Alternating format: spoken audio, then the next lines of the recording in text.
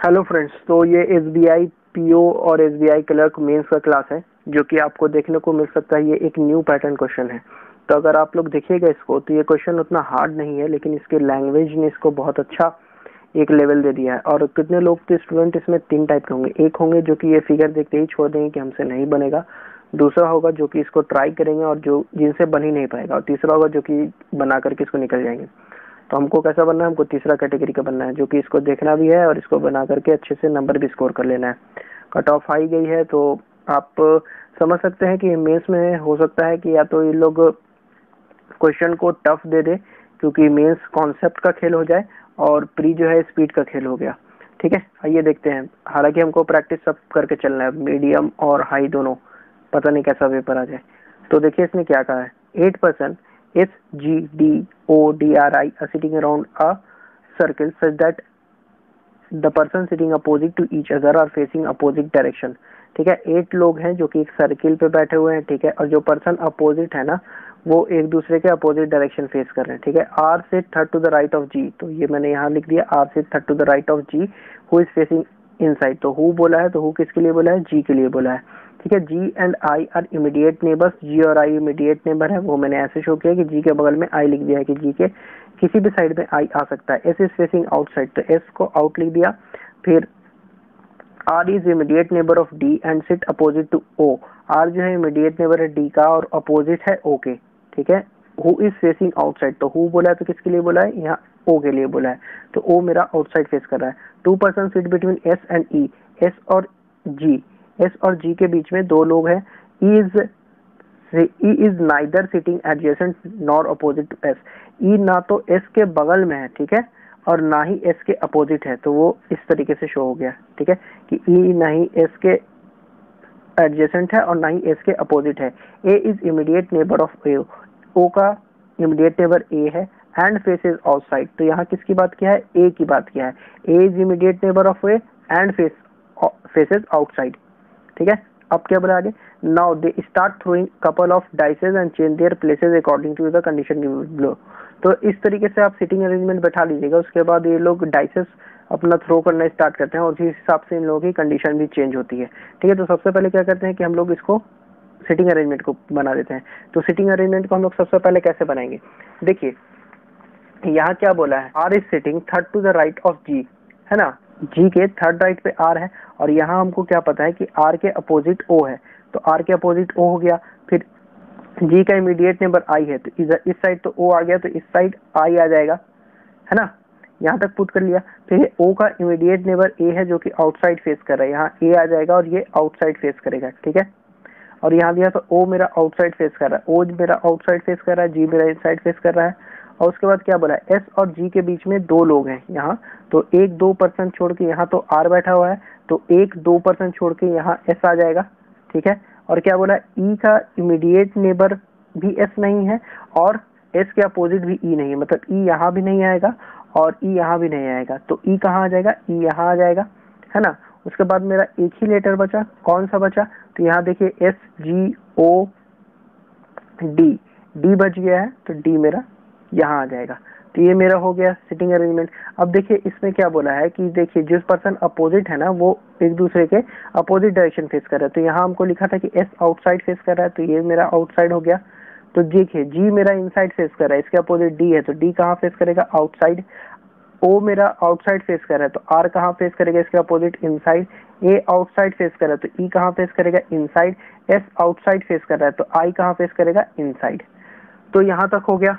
अब इसके बाद बोला है ना तो ये लोग बैठ गए सीटिंग अरेंजमेंट इन लोग का हो गया पूरा। अब क्या बोला है? Now they start throwing a couple of dices and change their places according to the condition given below ठीक है? अब इन लोग दो डाइसेस थ्रो करते हैं और उस हिसाब से अपना पोजीशन चेंज करते हैं। ये देखिए यहाँ इसमें दिखाया है ना कि ये बैठे हुए हैं। एक सर्किल के बाहर ये one two three four five six seven eight ये सारी पोजीशन है। अब हिसाब से इन लोग अपना पोजीशन चेंज करना स्टार्ट करेंगे। तो सबसे पहले कंडीशन को एक्सप्लेन कर देते हैं। ठीक है? कंडीशन को समझना ही बहुत अच्छा खेल है इसमें।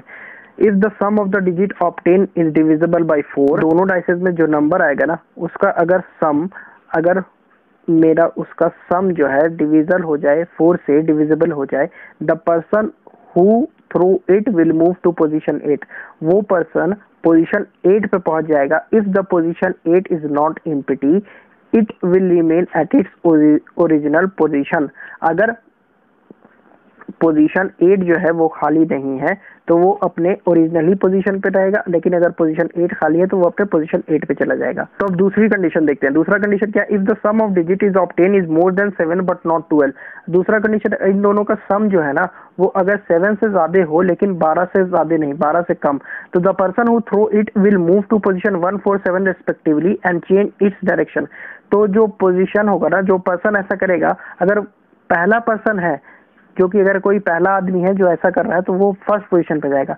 उसके बाद अगर कोई इसी कंडीशन को सेटिस्फाई करेगा तो वो फोर्थ पोजीशन पे जाएगा। अगर कोई तीसरा आदमी अगर कोई फिर ऐसा कर रहा है तो वो सेवेंथ पोजीशन पे जाएगा। और वो लोग पोजीशन तो अपना चेंज करेंगे ही, और उसके साथ अपना डायरेक्शन भी चेंज कर देंगे। ठीक है? अब तीसरे नंबर पर आते हैं। तीसरा नंबर क्या है? If the sum of digit is between two and six including both two and six मतलब जो सम है ना डिजिट का इन दोनों का वो टू और सिक्स के बीच में इंक्लूडिंग टू और सिक्स मतलब दो और छह भी हो सकता है। मतलब मान लीजिए कि वन प्लस वन आ गया तो टू भी हो सकता है और फोर प्लस टू आ गया तो सिक्स भी हो सकता है including both two and six except four लेकिन फोर नहीं आना चाहिए, ठीक है? The person will move to the position equal to the sum of ten तो वो जो पर्सन ऐसा हो, ये डाइस थ्रो करके नंबर लाएगा तो वो उन दोनों डाइस के सम के बराबर जो डिजिट आएगा, उस पोजीशन पे वो मूव कर जाएगा। ठीक है? अब चलते हैं हम लोग कि अब कैसे कैसे इन लोगों ने थ्रो किया है। ये देखिए one two three four five six इन्हीं ऑर्डर में इन्होंने थ्रो किया है। तो सबसे पहले एस ने थ्रो किया अ पेयर ऑफ़ सिक्स तो आइए अब आगे देखते हैं कि इससे हमारे क्या फ़र्क पड़ेगा सिटिंग अरेंजमेंट में। तो अब देखिए, अब ये लोग डाइस फेंकना स्टार्ट किया। तो सबसे पहले S throws a pair of six मतलब एक सिक्स और एक सिक्स एक पेयर ऑफ़ सिक्स फेंका एस मतलब कि सिक्स प्लस सिक्स कितना हो गया? ट्वेल्व ट्वेल्व आया। तो अब देखिए, इसमें से कौन सा कंडीशन सेटिस्फाई कर रहा है? तो यहाँ सेटिस्फाई करेगा पहला condition if the sum of digit is divisible by four तो ट्वेल्व मेरा फोर से डिविजिबल है। The person who throws is move to position eight जो पर्सन है, वो पोजीशन एट पे मूव कर जाएगा। मतलब कि पोजीशन एट पे कौन मूव कर जाएगा? एस एट पे कौन मेरा मूव कर गया? एस ठीक है? अब देखते हैं दूसरा कंडीशन क्या है। इसको रब कर लेते हैं। दूसरा कंडीशन क्या है? O throws are two and three तो ओ टू और थ्री शो किया। टू प्लस थ्री कितना आया? फाइव तो पहला कंडीशन तो नहीं हमारा सेटिस्फाई कर है क्योंकि डिविजिबल नहीं है फोर से। दूसरा कंडीशन था कि सात से ज़्यादा हो, बारह से कम हो, ये भी नहीं है। तो तीसरा कंडीशन क्या था? If the sum of digit is between two and six expect except four तो दो, तीन के, दो और छह के बीच में फाइव तो the person will move to the position equal to the sum of ten तो जितना सम है, उस पोजीशन पे वही पर्सन मूव कर जाएगा तो ओ तो पहले ही से फाइव पे है तो ओ यही मूव कर रह जाएगा। ठीक है? उसके बाद D throw a pair of three three plus three कितना आया? सिक्स तो ये मेरी कौन सी कंडीशन सेटिस्फाई हो गई? कंडीशन मेरी थर्ड वाली सेटिस्फाई होगी। है ना? If the sum of digit is between two and six including both two and six except four तो सिक्स पोजिशन पे कौन मेरा मूव कर जाएगा? डी तो सिक्स पोजिशन पे कौन सा आ गया मेरा? सिक्स पोजिशन पे आ गया मेरा डी उसके बाद कौन थ्रो कर रहा है? उसके बाद आर थ्रो कर रहा है। R throw one and two one plus two कितना होगा? थ्री तो ये वाली मेरी कौन सी कंडीशन आ गई? फिर से मेरी कंडीशन आ गई ये वाली। है ना? कि टू एंड सिक्स के बीच में है और टू एक्सेप्ट फोर तो थर्ड पोजिशन पे कौन मूव कर जाएगा? आर उसके बाद कौन सा है? I throw a pair of four plus five four plus five कितना हो जाएगा? नाइन फोर प्लस फाइव कितना हो जाएगा? नाइन तो नाइन मेरा कौन सा कंडीशन सेटिस्फाई कर रहा है? देखिए, दूसरा सेटिस्फाई करेगा। If the sum of digit is obtain more than seven but less than twelve तो the person who throw it will move to position one four seven respectively तो ये पहला पर्सन है आई जो ऐसा कर रहा है तो आई कौन सा पोजिशन पे जाएगा? आई फ़र्स्ट पोजिशन पे जाएगा। तो आई मेरा आ गया फ़र्स्ट पोजिशन पे। उसके बाद A throw a pair of five तो फाइव प्लस फाइव कितना आ जाएगा? टेन तो ये मेरा कौन सा सेटिस्फाई करेगा? ये भी मेरा यही सेटिस्फाई करेगा कि ऑप्टेन मोर देन सेवन और लेस देन ट्वेल्व ठीक है? मतलब सात से ज़्यादा और बारह से कम। तो दस तो वही है, सात से ज़्यादा, बारह से कम। तो the person will who throw it will move to position one four seven है ना? वन फोर सेवन तो वन फोर सेवन पे कौन सा मूव कर जाएगा?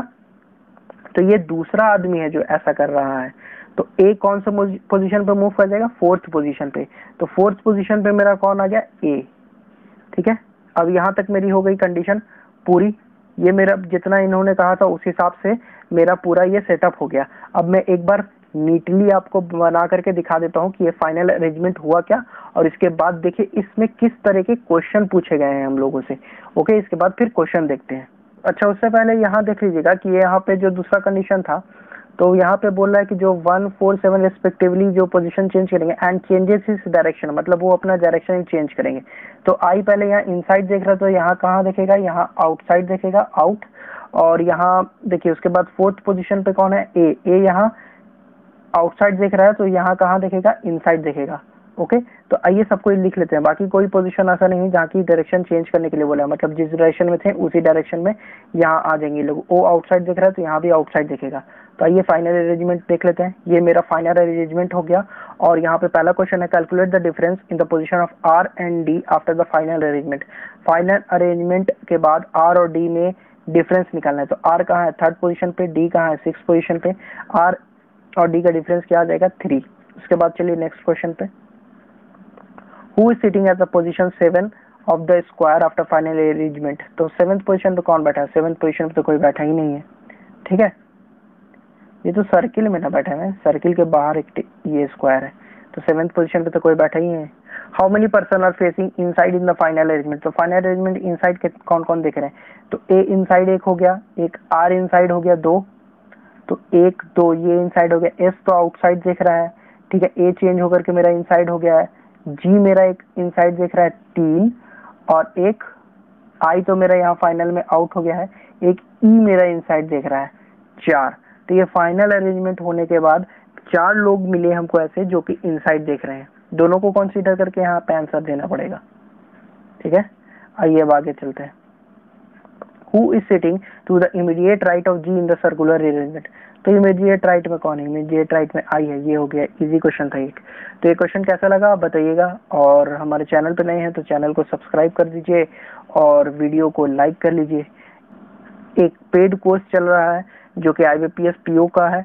अगर आप लोग इंटरेस्टेड है तो बताइए, जहाँ आपको बेसिक से लेकर के एडवांस तक की तैयारी कर जाएगी। Basic to advance okay basic to advance सारी तैयारी आप लोगों को कराई जाएगी। उसका पूरा डिटेल आपको स्क्रीन पे दिख रहा है, जहाँ की हर एक सब्जेक्ट को आपको कैसे डील करना है। अगर आप अपनी तैयारी स्टार्ट कर रहे हैं तो कहाँ से एकदम बेसिक से स्टार्ट किया जाएगा और एकदम फाइनल तक पहुँचाया जाएगा। और एक उसके अलावा एक आर पीओ का टेलीग्राम ग्रुप चल रहा है पेड टेलीग्राम ग्रुप जहाँ पे आपको स्टडी मटेरियल प्रोवाइड किए जाएँगे और सब कुछ आपको बताया जाएगा किस सब्जेक्ट में को कैसे टैकल करे कि आपका नंबर उसमें बूस्ट हो सके।